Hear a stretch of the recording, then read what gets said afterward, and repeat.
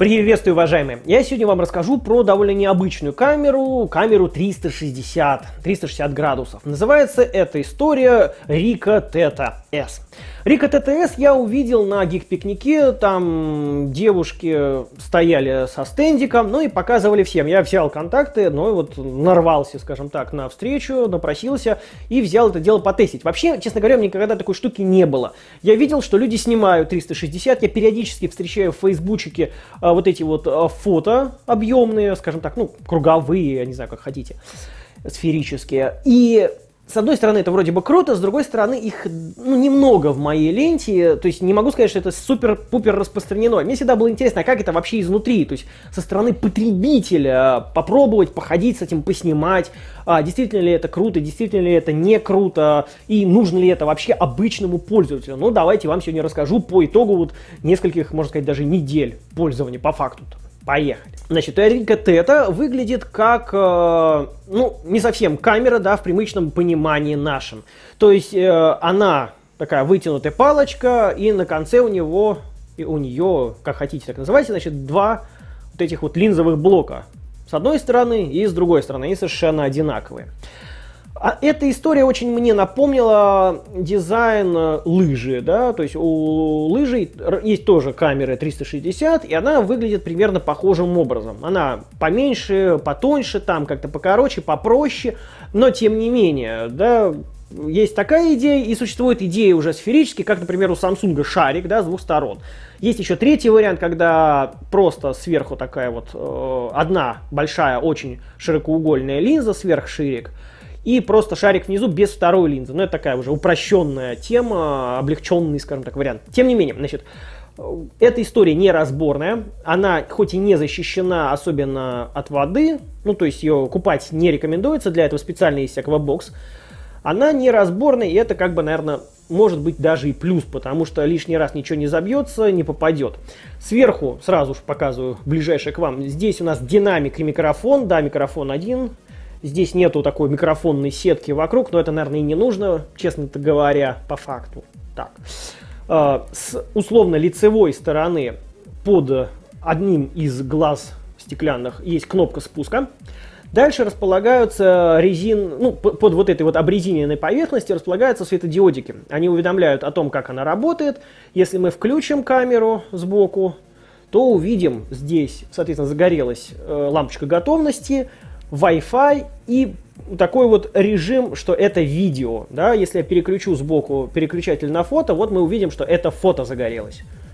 Такая вот история. Значит, если мы начнем запись, например, вот, видите, загорелась красненькая лампочка, показывающая факт, скажем так, записи непосредственно. То есть все идет, пишется. Сбоку, сбоку есть кнопка включения-выключения как раз э, со светодиодом. Она мигает, если там разряжается. То есть вы можете оценить состояние аккумулятора. Дальше у нас кнопка включения, выключения Wi-Fi подключения и переключения вот этих самых режимов. То есть, если я нажимать буду, да, то фото-видео режим будет переключаться таким образом. Снизу, снизу есть э, HDMI, вот этот вот, который вот здесь находится э, маленький HDMI и USB. Да, никакой карты памяти здесь нельзя установить. Ну, такая вот такая реальность, скажем так. Да. Посчитали в Рика, что это не нужно. Но зато есть нормальное крепление под стандартный вот этот штатив. То есть под стандартную штативную резьбу вы найдете кучу аксессуаров. Э, пожалуйста, ставите, и она замечательно работает. Значит, э, вот так вот это выглядит история отдельно, скажем так, э, в сравнении со мной. То есть она не очень маленькая, вот вам, я даже не знаю, сложно сейчас телефоны показывать, для сравнения очень разные. Но тем не менее, то есть э, вот с ладонью сравниваю, она, с одной стороны, достаточно плотненькая такая вот, да, то есть не совсем маленькая, но и не очень большая. И это хорошо, кстати, что вот такая форма используется, потому что вот, если взять его штатный мешочек, такой неопреновый пакет, такой носок, как раньше телефоны засовывали, вот. Засунуть ее, вы можете положить эту всю конструкцию, например, э, даже в карман джинсов. Она у вас не будет там сильно болтаться, если вы, конечно, не любите супер облипки, которые там прям по коже, по коже с натягом. В нормальные джинсы она влезает, в карман пиджака она влезает, да, и она не оттопыривает его, как, например, шарообразная Самсунгина, которая большая такая. И это хорошо, то есть вы можете взять ее спокойно, понести куда-то, выйти там погулять и не забыть. То есть вы не будете ее оставлять из-за того, что вам будет тупо лень ее брать с собой. Это плюс компании Рика с моей вот стороны. По сути, это тоже определенные удобства. Да, кстати, вы, вы спрашивали, нету разъема под карты памяти, может быть, вы задумались, да, то все есть э, внутри, 8 гигов памяти, плюс она, естественно, транслирует, передает данные на ваш телефон, это или iOS, или Android. Пожалуйста, по, почти, по сути, бесконечное хранилище, ну или ограниченное э, возможностями вашего смартфона, как вариант. От одной зарядки она где-то в районе 260 фотографий делает, и примерно 60-65 минут видео она может записать. Вот так поставили, пишет, пишет, пишет. Это Full HD видео, естественно, то есть если вы пишете меньше разрешения, а максимально Full HD 30 кадров в секунду, есть меньше, соответственно, там вы подольше позаписываете. Но, не знаю, по-моему, чем лучше качество, тем лучше писать. Итак, э, работает эта штука, как я уже сказал, на андроиде, на iOS, с андроидом, с iOS. Естественно, ну и вам придется поставить официальное приложение Rika Theta. Значит, э, здесь четыре вкладки сразу видно. Первое, Device Images, это то, что у вас залито на ваш планшет, на ваш смартфон, то есть то, к чему подключена эта камера, то, что у вас сейчас в руках. Cam Images это то, что на камере, то есть э, в памяти самой непосредственно вот этой теты. Здесь э, как бы есть подвкладки «Не передано», то есть то, что нет у вас на смартфоне копии. Трансфер – это то, что уже передано вам в копии, да. И все вместе, то есть э, в куче показано. Следующая большая вкладка это Teta 360, но она требует подключения к интернету. Показать вам не могу. Просто как бы переход на агрегатор различных фоток других людей. Дальше, в настройках. Здесь у нас есть э, различные, значит, во-первых, э, Wi-Fi, да, вы же подключаетесь по Wi-Fi, предлагает подлогиниться вот к этому сайту 360, э, статус соединения, изменить Wi-Fi password, то есть, ну, как бы по умолчанию там он в виде номера снизу находится, но вы можете поменять на любой другой. Э, тип передачи или копировать, или просто сразу переносить, записывать состояние. Значит, если мы нажмем на странную штуку круглую внизу с э, видом камеры, мы попадем в режим съемки. В режиме съемки здесь есть две вкладки, соответственно, фото и видео. Режим фото также переключается ISO Priority, да, мануал, авто, причем здесь есть Option Settings, где мы можем поставить, например, там шумоудаление, динамический компенсатор диапазона, HDR и так далее. Э, также есть приоритет э, затвора. Ну и снова возвращаемся на ISO. Если мы перейдем в режим видео, то у нас уже здесь не будет никакого превью вживую, в данном случае, да, мы снимаем как есть, ну и нам написано, сколько у нас осталось, тоже уровень батарейки и выбор, соответственно, Full HD или HD. Но если мы нажмем на три полоски, мы перейдем в настройки режима съемки дополнительные. Значит, здесь есть uh, Display Mode Settings, то есть uh, режим отображения на экране превьюшки. Или вообще не показывать, или панорама, то есть вот то, что было как раз такое длинное, или full screen, то есть полностью вот этот такой шарик. Также есть uh, метод uh, съемки, нормальная съемка, ну, то есть обычная сняли и сняли, интервальная съемка, интервал композит, когда он собирает много штучек в одну, а, таймер, да, то есть вы ставите таймер, подняли над головой, например, сняли. Ну и брекетинг. Да, вот такая история. Естественно, я выложил отдельно примеры видео, как отдельное же видео, и вы можете посмотреть, зайти, покрутиться головой, там, я не знаю, может быть, одеть виртуальные очки и посмотреть это. Например, здесь есть возможность даже в настройках этого приложения, когда вы смотрите, вы можете выбрать э, различные варианты решения, как это будет выглядеть.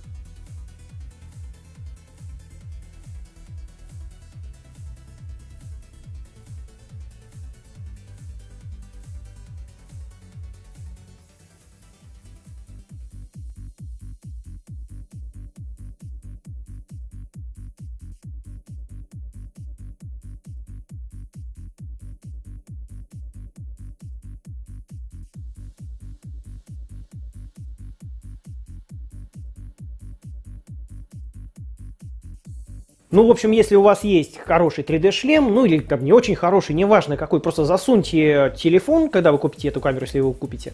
Э, посмотрите, все-таки ощущение от снятого собственными руками кадра нам сильно отличается нежели от кадра, снятого кем-то, да, вы чувствуете, что вы там были, вот вы по-другому несколько оцениваете эту историю. Интересно. Понятное дело, что это не будет э, супер-пупер 3D, но все-таки э, интересно, забавно. Я поиграл, мне понравилось. По качеству картинки. Понятное дело, что вы сами сможете оценить по возможности вот это дело, да, я все-таки выложил отдельно видео 3D, ну, 360 это видео, это не 3D все-таки, 360 видео, чтобы вы сами зашли при возможности, там, покрутили, посмотрели, оценили. Понятное дело, что если вы делаете фото круговое, вот это сферическое, то вы, конечно, не получите ту же самую детализацию, как в случае использования, например, э, топового Samsung топового LG, топового HTC. То есть э, детализация, конечно, будет проще, да, шумов будет больше. Кстати, чтобы шумов было минимально, понятное дело, снимайте в ручном режиме на, ну, точнее, в приоритете ISO. Э, ISO-шка шумы минимально. Да, это будет вытягивать экспозицию, но это не принципиально. Я пытался замучить данный агрегат э, следующим методом. Я ставил один, глаз тета на солнце ярко или на источник, второй глаз э, отправлял на, скажем так, теневую сторону и смотрел, как она склеивает вот эти вот э, ну, стыки условные, да. Э, например, у Samsung и у других камер эта история превращается в странные вещи, когда одна как бы полусфера очень э, яркая или явно ярче, чем другая полусфера. Из-за этого на стыке получается такой вот явный э, странный шов, явная склейка. Она неприятна глазу. Здесь я получил, конечно, склейку один раз, по-моему, но я не помню уже, что такого сделал. Я там издевался с источниками освещения. И то она такая была минимальная, что она не резала глаз, да. То есть на самсунговском, например, я это встречал даже в примерах выложенных намного чаще нежели здесь. То есть здесь у меня реально один раз, хотя мучил я ее достаточно долго, а, признаться. Следующий момент. 360 э, э, градусов фото-видео, интересная история. Не знаю, насколько она актуальна. Тут вопрос э, доступности шлемов, скажем так, распространенности софта для просмотра и редактирования, да, и поддержкой, поддержки всеми возможными движками вот этой технологии. То есть, если, например, я на свой блог смогу Э, по умолчанию без дополнительных движений или там ВКонтакте, кроме Фейсбучика, выкладывать 360, э, почему нет? Да, я поставил чпок, и она полетела, я посмотрел 360, потому что информации, конечно, больше. А, интересная история, когда вы хотите снять какую-то ситуацию. Понятное дело, да, вот если я хочу снять какой-то интересный кадр, я, ну, в идеале возьму камеру. Безусловно, я откадрирую, я выберу фокусное нужное, я выберу там свет, если надо поставлю дополнительный свет. А, я постараюсь светом нарисовать какую-то свою эмоцию, да, и рассказать какую-то историю в одном кадре. Здесь история в одном кадре немножко по-другому воспринимается. Здесь история, историю создает не свет, да, здесь историю создает ситуация. То есть это идеальная штука для, например, съемки, ну, какой-нибудь там, ну, того же вот гик-пикника, да, фестиваля ВКонтакте, какого-нибудь стереолета, похода куда-то. А, то есть вы просто идете и снимаете, а человек может сам потом, или вы сами же потом выбрать и посмотреть, что происходило сзади, спереди. То есть вы можете а, пережить еще раз моменты уже под другим углом. По сути, это не только на люди э, история, это и для себя архивирование, тоже очень хорошая история, когда вы сможете посмотреть, что было сзади вас в тот момент. Вы могли просто пропустить, да, какое-то движение, вы смотрели в одну точку, а сзади вас была какая-то интересная, прикольная вещь. Вы можете вернуться и посмотреть, потому что камера это позволяет. Камера позволяет э, сделать многие интересные вещи, и с точки зрения фото, да, когда вы просто сфотографировали, и можно в разных, э, скажем так, точках этой сферы расположить разные идеи. То есть это не обязательно ситуативная съемка, это съемка постановочная. Ну, например, в одной точке вы сделали какую-то одну штуку, да, в другой точке находятся другие модели, там участники съемки делают другое что-то, там еще что-то, еще что-то. Ну, то есть это другой уровень, да, другой план творческой работы. Я уверен, что за этим все-таки будущее, так или иначе, распространение будет все больше и больше активнее этой истории. Э, шлемы будут все более доступны, да, они сейчас уже вполне себе недорогие. Э, поддержка будет развиваться, я в этом тоже уверен, это просто логично истекает, да, и мы увидим вот эту историю, как бы вот более дешевые, больше интереснее и форматнее. Э, к чему я мог бы придраться в этой камере? Ну, цена, понятное дело, она там в районе 25 тысяч, если я не ошибаюсь, может быть дешевле она стоит. Ну, в принципе, да, купить камеру, которая фиксирована, которая не защищена из-за 25, ну, для многих, понятное дело, будет дорого. Ну, тут глупо говорить о том, что она всем доступна. Нет, конечно, нет. А, второй момент. Это история про про все-таки необходимость докупать э, какой-то внешний аккумулятор. Хотя она, надо дать должное, она живет довольно долго, то есть э, там 260 кадров 3, ну, в 360 вы навряд ли будете снимать. И это все-таки не зеркалка, да, не обычный кадр, который дык-дык-дык-дык, все отчпокали. Здесь один кадр и много информации. Соответственно, вы будете реже снимать, скорее всего. То есть э, мне ее не приходилось э, подзаряжать в процессе съемки. То есть мне вот э, тех 200 кадров за день, во, за глаза, это более чем достаточно было. Даже попробовать. А видеочас, ну да, ладно, видеочас, допустим, ну, в крайнем случае подоткнули Powerbank и используйте. А хорошо ли отсутствие съемного или аккумулятора или плохо, не знаю. Ну, как бы в мобильниках тоже часто уже не делают такое. Поэтому просто примите как данность. Я бы, конечно же, предпочел бы, чтобы была флешка. То есть э, я захочу поставить туда еще 8 гигов, пожалуйста, поставлю. Захочу 16, захочу там 32, 64, 128. Это мое, мое право, я имею право на это. Да, я хочу иметь на это право, чтобы туда засунуть, например, э, 128 памяти, запулить туда Powerbank, поставить, и пис- чтобы он там писал 24 часа видео. К сожалению, это не, здесь невозможно да, ну так получается. Он может сам снимать без подключения к смартфону, безусловно, то есть я могу вот это дело не брать с собой, а просто чпок-чпок нажимая на, ну, настроив заранее через приложение, нажимая на кнопочку, я получу и видео, и фото по нужным мне настройкам. Это удобно, да, то есть, тем более это 360, там не надо подстраивать горизонт, и просто не глядя чпок, и понеслась история. Это, это здорово, это плюс. Но имейте в виду, да, что все-таки подключение по Wi-Fi отключает ваш домашний Wi-Fi в случае необходимости. То есть некоторые андроиды ругаются, ну, это такая вот история.